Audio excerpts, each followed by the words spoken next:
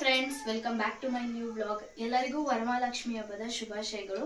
ನಾನು ಆಕ್ಚುಲಿ ಬೆಳಗಿಂದ vlog start ಮಾಡೋದಕ್ಕೆ ಆಗಿರಲಿಲ್ಲ. ದೇವ್ರ ಪೂಜೆ ಅದು ಇದು ದೇವ್ರಿಗೆ ಸೀರೆ ಉಡ್ಸೋದು, ಬರೀ ಇದೇ ಕೆಲಸ ಆಗೋಯ್ತು.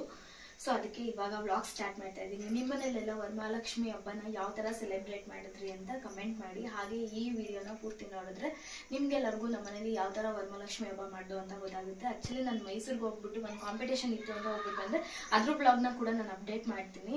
ಇದು ಬೇಗ ಬರುತ್ತೋ ಅದು ಅದನ್ನ ಬೇಗ ಆಗ್ತೀನೋ ಗೊತ್ತಿಲ್ಲ. ಸೊ ಅಲ್ಲಿಗೆ ಹೋಗ್ಬಿಟ್ಟು ಬರೋದ್ರಿಂದ ಸ್ವಲ್ಪ ಹೆಲ್ತ್ ಅಪ್ಸೆಟ್ ಆಗೋಗಿತ್ತು. ಸೊ ಅದಕ್ಕೆ ನಾನು ಆದಷ್ಟು ವ್ಲಾಗ್ ಮಾಡೋದನ್ನ ಅವಾಯ್ಡ್ ಮಾಡಿದೆ. ಬಟ್ ಇವಾಗ ಮಾಡಬೇಕು ಅಂತ ಅನ್ನಿಸ್ತು. ಇದೊಂದು ಶಾರ್ಟ್ ವಿಡಿಯೋ ಆಗಿರುತ್ತೆ. ಸೊ ಈ ವ್ಲಾಗ್ನ ನೋಡಾದ್ಮೇಲೆ ನನ್ನ ವಿಡಿಯೋ ನಿಮ್ಗೆ ಏನಾದ್ರು ಇಷ್ಟ ಆದರೆ ಲೈಕ್ ಮಾಡಿ ಶೇರ್ ಮಾಡಿ, ಹಾಗೆ ಕಮೆಂಟ್ ಮಾಡಿ. ಇನ್ನೂ ಯಾರೂ ನನ್ನ ಚಾನಲ್ಗೆ ಸಬ್ಸ್ಕ್ರೈಬ್ ಆಗಿಲ್ಲ ಅಂದರೆ ಪ್ಲೀಸ್ ಸಬ್ಸ್ಕ್ರೈಬ್ ಆಗಿ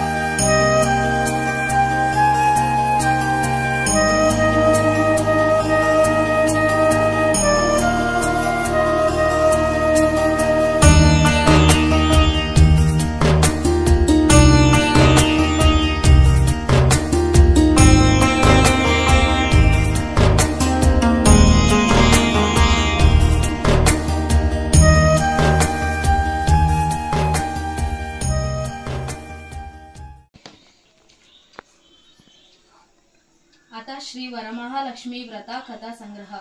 ಪೂರ್ವದಲ್ಲಿ ಸತ್ಯ ಲೋಕವಾಸಿಗಳಾದ ಋಷಿವರ್ಯ ಕೈಲಾಸ ಪರ್ವತದಲ್ಲಿ ನಾನಾ ವಿಧವಾದ ಮಣಿಗಳಿಂದಲೂ ಪಾಟೀಲ, ಅಶೋಕ, ದೇವಹೊನ್ನ, ಖರ್ಜೂರ, ಪಗಡ ಮುಂತಾದ ವೃಕ್ಷಗಳಿಂದ ನಿಬಿಡವಾಗಿಯೂ ಕುಬೇರರಾದಿ ಸಮಸ್ತ ಗಣ ಸಮೂಹದಿಂದಲೂ ಇರತಕ್ಕಂತಹ ಕೈಲಾಸ ಪರ್ವತದಲ್ಲಿ ರತ್ನ ಖಚಿತ ಸಿಂಹಾಸನ ರೂಢನಾಗಿರುವ ಪಾರ್ವತಿ ಲೋಲನಾದ ಉಮಾಪತಿಯನ್ನು ನೋಡಿ ಪಾರ್ವತಿಯು, ಪ್ರಾಣೇಶ್ವರ, ಈ ಭೂಲೋಕದಲ್ಲಿ ಭಕ್ತಿಯಿಂದ ಪೂಜಿಸುವವರಿಗೆ ಸಕಲ ಇಷ್ಟಾರ್ಥಗಳನ್ನು ಕೊಡುವುದಾಗಿಯೂ, ಅತ್ಯಂತ ರಹಸ್ಯವಾಗಿಯೂ, ಪಾವನವಾಗಿಯೂ ಇರತಕ್ಕಂತಹ ವ್ರತವೊಂದನ್ನು ಹೇಳಬೇಕೆಂದು ಪ್ರಾರ್ಥಿಸಲು ಆಗ ಕರುಣಾಳುವಾದ ಪರಮೇಶ್ವರನು, ಎಲೈ ಪಾರ್ವತಿಯೇ ಕೇಳು, ವ್ರತಗಳೆಲ್ಲ ಉತ್ತಮವಾದುದಾಗಿಯೂ, ಸರ್ವಶ್ರೇಷ್ಠವಾಗಿಯೂ ಇರತಕ್ಕಂತಹ ವರಮಹಾಲಕ್ಷ್ಮಿ ಎಂಬ ವ್ರತವೊಂದುಂಟು. ಇದನ್ನು ಶ್ರಾವಣ ಮಾಸದ ಶುಕ್ಲ ಪಕ್ಷದ ಪೌರ್ಣಮಿಯ ಹಿಂದಿನ ಶುಕ್ರವಾರದ ದಿನ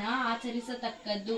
ಅಂತಹ ಈ ವ್ರತ ವಿಧಾನವನ್ನು ನಾನು ನಿನಗೆ ಹೇಳುತ್ತೇನೆ ಕೇಳು. ಎಲೈ ಪಾರ್, ಪರ್ವತರಾಜನ ಪುತ್ರಿಯೇ ಕೇಳು ಎನ್ನಲು ಆಗ ಪಾರ್ವತಿಯು, ಕಾಂತ, ಈ ವ್ರತವನ್ನು ಮಾಡುವ ವಿಧಾನ ಹೇಗೆ? ಹಿಂದೆ ಯಾರು ಈ ವ್ರತವನ್ನು ಆಚರಿಸಲು ಫಲವನ್ನು ಪಡೆದಿರುತ್ತಾರೆ ಎಂದು ಕೇಳಲು ಆಗ ಪರಮೇಶನು ಶ್ರಾವಣ ಮಾಸದ ಎರಡನೇ ಶುಕ್ರವಾರದ ದಿನ ವಿಧಿ ಪ್ರಕಾರದಿಂದ ಭಕ್ತಿ ಪುರಸ್ಸವಾಗಿ ಪೂಜಿಸಿದರೆ ಅಂತಹವರು ಸಕಲ ಸಂಪತ್ತನ್ನು ಪಡೆಯುತ್ತಾರೆಂದು ಈ ವಿಚಾರವಾಗಿ ನಡೆದ ಒಂದು ವೃತ್ತಾಂತವನ್ನು ಹೇಳುವೆನು. ಕೇಳು ಎಂದು ಇಂತೆಂದನು. ಹಿಂದೆ ನಿದರ್ಭವೆಂಬ ದೇಶವೊಂದಿತ್ತು. ಅದರಲ್ಲಿ ಕುಂಡನಿ ನಗರವೆಂಬ ಪಟ್ಟಣವೊಂದು ಇದ್ದಿತು. ಆ ಪಟ್ಟಣದಲ್ಲಿ ಚಾರುಮತಿ ಎಂಬ ಬ್ರಾಹ್ಮಣ ಸ್ತ್ರೀ ಇದ್ದಳು. ಅವಳು ಪತಿವ್ರತ ಶಿರೋಮಣಿಯಾಗಿ ಸಕಲಾಶ್ಚರ್ಯ ಸಕಲ ಶಾಸ್ತ್ರ ಸಂಪನ್ನಳಾಗಿ ಪತಿ ಶುಶ್ರೂಷೆಯಲ್ಲಿ ನಿರತಳಾಗಿ ಕಾಲ ಕಳೆಯುತ್ತಿದ್ದಳು. ಒಂದು ದಿನ ಈಕೆಯು ತನ್ನ ಪೂರ್ವಾರ್ಜಿತದ ಪುಣ್ಯಫಲದಿಂದ ರಾತ್ರಿ ನಿದ್ರಿಸುತ್ತಿರುವಾಗ ಒಂದು ಶುಕ್ರವಾರದ ದಿನ ನಡುರಾತ್ರಿಯಲ್ಲಿ ಒಬ್ಬ ಹೆಂಗಸು ಈಕೆಯ ಸ್ವಪ್ನದಲ್ಲಿ ಬಂದು ಎಲೈ ಪತಿ ವ್ರತಾಶಿ ರೋಮಣಿಯಾದ ಚಾರುಮತಿಯೇ ಏಳು ಎದ್ದೇಳು. ನಾನು ವರಮಹಾಲಕ್ಷ್ಮಿಯು. ನಿನ್ನ ಭಕ್ತಿಗೆ ಮೆಚ್ಚಿ ನಿನಗೆ ವರಪ್ರದಾನವನ್ನು ಮಾಡಬೇಕೆಂದು ಬಂದಿರುವ ಮಹಾಲಕ್ಷ್ಮಿಯೇ ನಾನು. ನಿನಗೆ ಒಳ್ಳೆಯದಾಗತಕ್ಕ ವಿಚಾರವನ್ನು ಹೇಳುತ್ತೇನೆ ಕೇಳು. ಶ್ರಾವಣ ಮಾಸದಲ್ಲಿ ಶುಕ್ಲ ಪಕ್ಷದಲ್ಲಿ ಬರುವ ಎರಡನೇ ಶುಕ್ರವಾರದ ದಿನ ನನ್ನ ಪೂಜೆಯನ್ನು ಯಾರು ಮಾಡುತ್ತಾರೆಯೋ ಅವರ ಸಕಲ ಸಕಲ ಇಷ್ಟಾರ್ಥಗಳನ್ನು ನಾನು ಕೊಡುತ್ತೇನೆ. ಪುಣ್ಯವಂತರಾದವರಿಗೆ ಮಾತ್ರ ಈ ವ್ರತದಲ್ಲಿ ಭಕ್ತಿಯುಂಟಾಗುವುದೇ ವಿನಃ ಅನ್ಯರಿಗೆಂದಿಗೂ ಉಂಟ ಉಂಟಾಗಲಾರದು. ಆದ್ದರಿಂದ ಶ್ರಾವಣ ಮಾಸದ ಶುಕ್ರವಾರದ ದಿನ ನನ್ನನ್ನು ಆರಾಧಿಸು. ನನ್ನ ಆರಾಧನೆಯಿಂದ ನೀನು ಅಷ್ಟ ಭೋಗ, ಸುಖ, ಸಂತೋಷ, ಸಕಲ ಸಾಮ್ರಾಜ್ಯಗಳನ್ನು ಪಡೆದಿರುವೆ ಎಂದು ಹೇಳಿ ವರಮಹಾಲಕ್ಷ್ಮಿಯು ಅಂತರ್ಧಾನವನ್ನು ಹೊಂದಿದಳು. ಬೆಳಗ್ಗೆಯಿಂದ ಹಬ್ಬ ಎಲ್ಲ ಮಾಡಿ, ಅದಾದಮೇಲೆ ಸಂಜೆ ಎಲ್ಲರೂ ಅರ್ಶಿನ ಕುಂಕುಮ ತಗೊಂಡು ಹೋದಾದಮೇಲೆ ನಾನು ಬೇರೆಯವ್ರ ಮನೆಗೆ ಹೋಗಿ ಅರ್ಶಿನ ಕುಂಕುಮ ತೊಗೊಂಬಂದೆ ಅಲ್ಲಿ ಯಾವ ಥರ ಲಕ್ಷ್ಮಿ ಕುಂಡಿಸಿದ್ರು ಅಂತನ್ಬಿಟ್ಟು ನಾನು ಆ್ಯಕ್ಚುಲಿ ಫೋಟೋ ತಗೊಂಡಿದ್ದೀನಿ ಅದರದ್ದು ಕೂಡ ಫೋಟೋನ ಅಟ್ಯಾಚ್ ಮಾಡ್ತೀನಿ. ಅದೆಲ್ಲ ಆದಾದಮೇಲೆ ಸಂಜೆ ರಾತ್ರಿ ಮಲಗುವಂಥ ಟೈಮಲ್ಲಿ ದೇವರಿಗೆ ಕೆಂಪು ಆರತಿ ಮಾಡ್ತಾರೆ. ಅದೇ ಥರ ನಾವು ಕೂಡ ನಮ್ಮ ಮನೇಲಿ ಕೆಂಪು ಆರತಿ ಮಾಡ್ತೋ ಆ ನೀರು ಎಷ್ಟು ಕೆಂಪಗಾಗಿತ್ತು ಅಂದರೆ ಅದೇ ಸೂಚಿಸುತ್ತೆ ದೇವರಿಗೆ ಎಷ್ಟು ದೃಷ್ಟಿ ಆಗಿದೆ ಅಂತ ಅಂದ್ಬಿಟ್ಟು ವರಮಹಾಲಕ್ಷ್ಮಿ ಹಬ್ಬನ ಯಾವ ತರ ಸೆಲೆಬ್ರೇಟ್ ಮಾಡ್ದು ಅಂತ ಹೋಪ್ ಈ ಒಂದು ಬ್ಲಾಗು ನಿಮ್ಗೆಲ್ಲರಿಗೂ ಇಷ್ಟ ಆಗಿದೆ ಅಂತ ಹೇಳ್ತಾ ನೆಕ್ಸ್ಟ್ ಒಂದು ಹೊಸ ಬ್ಲಾಗ್ ಜೊತೆ ನಿಮ್ಮ ಮುಂದೆ ಬರ್ತೀನಿ. ಅಲ್ಲಿವರೆಗೂ ಕಾಯ್ತಾ ಇರಿ. ಲವ್ ಯು ಅಂತ ಹೇಳ್ತಾ ಟೇಕ್ ಕೇರ್ ಬಾಯ್